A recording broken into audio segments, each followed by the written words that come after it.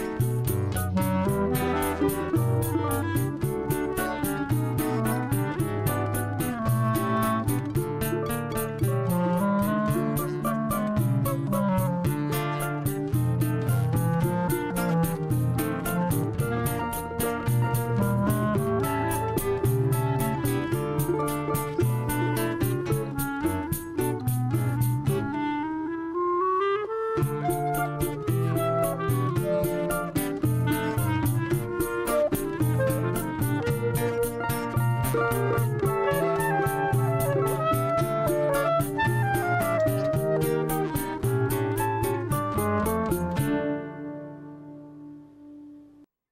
bem-vindo mais uma vez ao programa Sou Samba. Sejam bem-vindos todos ao programa Sou Samba. Obrigado, Velasco. Bruno, vamos começar você apresentando essa rapaziada aí. Por favor. Da direita para a esquerda, Peterson de Oliveira, tá com a gente no pandeiro aí. Peterson e Josué Ramos, né, no Sete Cordas. Nós estamos tocando junto há mais ou menos uns oito anos, nessa, nessa linha de, de chorinho, né? Sim. Eles já tocam junto há muito mais tempo. E aqui na ponta esquerda é o Marcos Paulo, meu amigo clarinetista. Me dá a canjinha pra gente aí. Filho do maestro Colibri, herdeiro da dinastia dos Paulo, e que voltará aqui, numa outra oportunidade, para contar a história deles. Isso eu prometo, com certeza. Bruno Souza, você começou muito cedo, mas quanto tempo de carreira já? Rapaz, eu, Você a devo tocar ter. esse Um... antes de começar a falar? Não, não foi tanto. Quem dera. Eu gostaria de ter começado mais cedo mesmo. Porque aí. Eu comecei com 15 anos. 15 anos. Comecei com o boom do, do, do- eu gostava, eu sempre gostei de chorinho, né, assim, da melodia, mas eu comecei com o boom do pagode, né? Quando o pagode explodiu e teve- tem esse lado bom que muitos instrumentistas participaram, né? Começaram a aprender cavaquinho, violão, aí eu, aí eu comecei a aprender o cavaquinho. Você estudou com quem? Eu estudei com o Josué e com o Raimundo, Raimundo Machado. Eu comecei com o Raimundo, na verdade. Eu comecei sozinho, autodidata. é, é, na minha rua tinha uma pessoa que tocava cavaquinho, me ensinou, o Léo, né? Colega nosso. E aí a gente foi dando os primeiros acordes, depois, bicho, tem que estudar, né? Aí eu procurei o Raimundo. O pessoal conhecia o. Raimundo, eu conhecia o José muito de vista. Raimundo assim. Machado. Raimundo Machado. Aí fiz as primeiras aulas, os primeiros anos com ele, depois eu fiz que, que Josué eh, morava próximo em minha casa, né? Sim. Aí comecei a estudar com ele, teoria também. Aí depois eu fiz um pouco de FAMBS, não cheguei a formar, mas eu fiz um popular lá. Aham. Cheguei a fazer uns dois anos. Agora, você começou no cavaquinho, era uma paixão, era o cavaquinho, o outro instrumento não chamou sua atenção? Cara, o, o cavaquinho me, ele, ele conseguiu, eu consegui me apaixonar por ele por causa, por causa do som. É o som, né? A sonoridade, o timbre dele é muito particular, né? Sim. E até a forma de, de tocar também, o, o- a extensão do, do- né, da escala, do, do instrumento, é muito particular. Isso me, me chamou muita atenção. Às vezes a pessoa pensa que é fácil, né, porque é pequeno, né? Eu dou aula de cavaquinho também. Às vezes o aluno chega lá, ah, é fácil porque é é menor, né? Menor do que o violão, então fica mais fácil. Aí que está a dificuldade, né? É, é Quanto aí. menor, mais difícil É é. por aí. Mas foi isso que me chamou minha atenção, foi o timbre mesmo, é. E eu gostava já de samba, de pagode, né? Então, foi unir o útil ao agradável. Perfeito. Bem, nós ouvimos aí na abertura do programa Chorando Baixinho, um clássico do Abel Ferreira. E agora vai ser o quê? Agora vai ser é, do Jacó do Bandolim Feia. Feia, do Jacó do Bandolim. Vamos lá.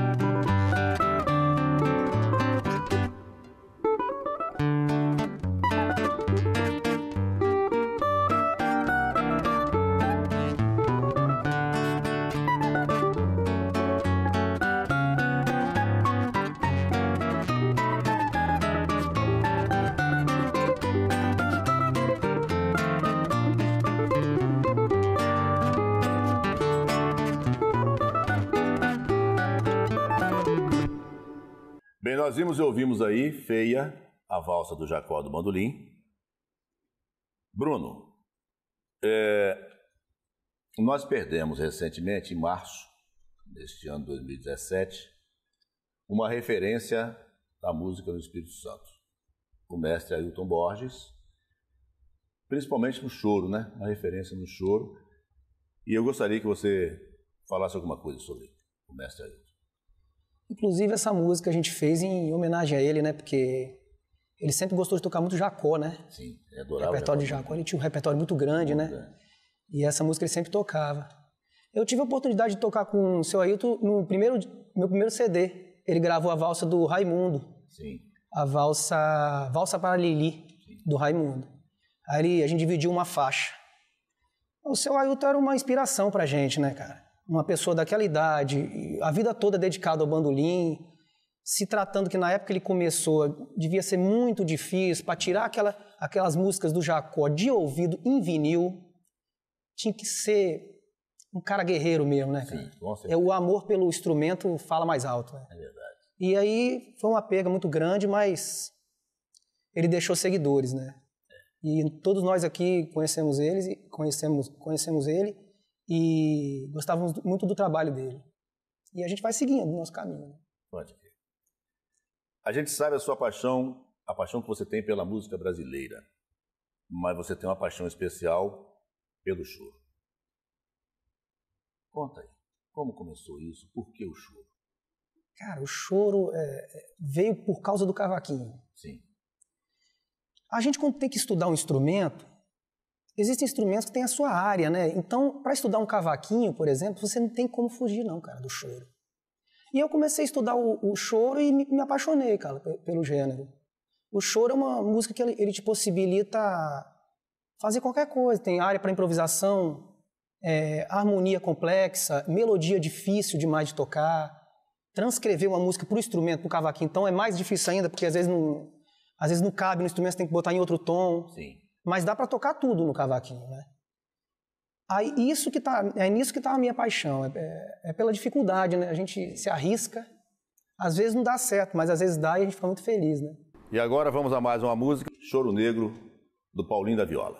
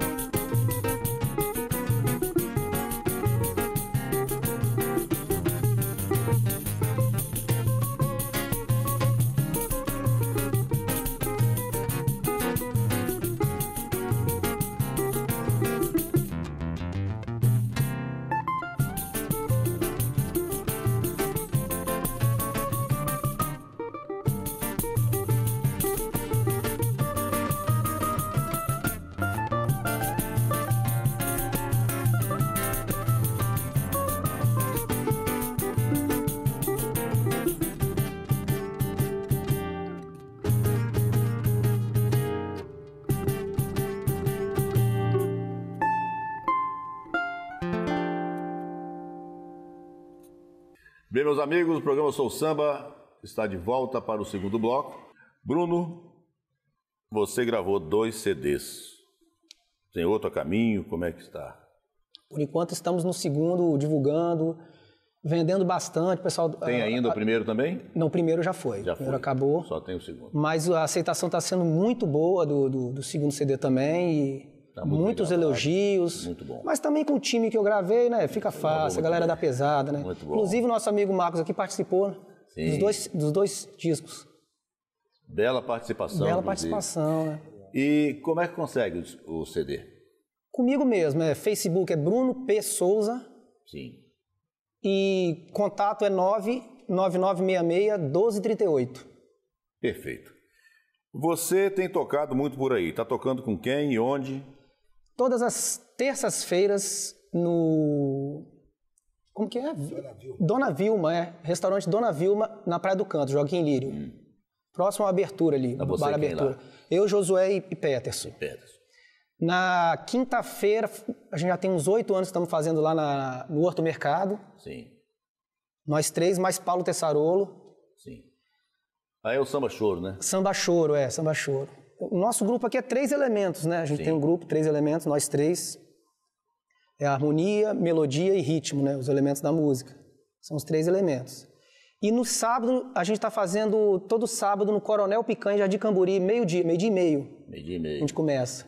Tem Rodrigo, é, reveza Rodrigo Nogueira no pandeiro ou Peterson de Oliveira. Aí eles estão revezando lá. E agora vamos a mais uma música, Sons de Carrilhões, de João Pernambuco.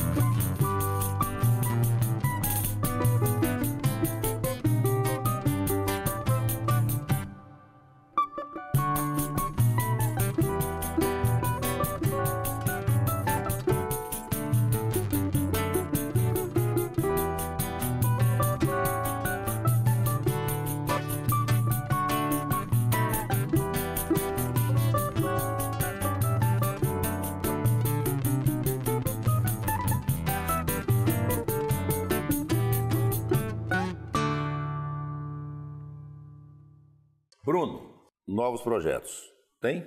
Por enquanto não, por enquanto é só divulgação do, do CD. Uhum. E tocar por aí afora, né?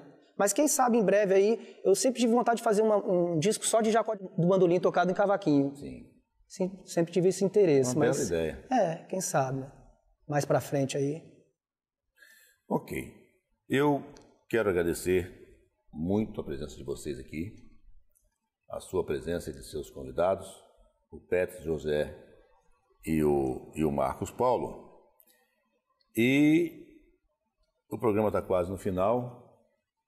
Você tem aí um tempinho para fazer as suas considerações. Eu também quero agradecer o programa aí, a oportunidade de estar divulgando o trabalho, né? Faz muita falta aqui no estado essa divulgação. E agradecer meus colegas que vieram participar, agradecer o Marquinho, vem dar canja especial aí com a gente. Eu que agradeço. E estamos juntos aí na caminhada. Quem quiser acompanhar o nosso trabalho, vai pelo Facebook. Lá tem o, o Face do é, Elementos Choro Sim. também, que a gente está sempre postando alguma coisa lá. E o meu pessoal também, que eu sempre estou divulgando. Ok, muito obrigado por terem vindo ao programa Sou Samba. Lembrando que todo sábado eu estou na Rádio Espírito Santo no programa Ensaio Geral. Rádio Espírito Santo, 1160 AM. Não percam. Muito obrigado pela audiência. O programa Eu Sou o Samba vai ficando por aqui. Semana que vem estaremos de volta. Até lá.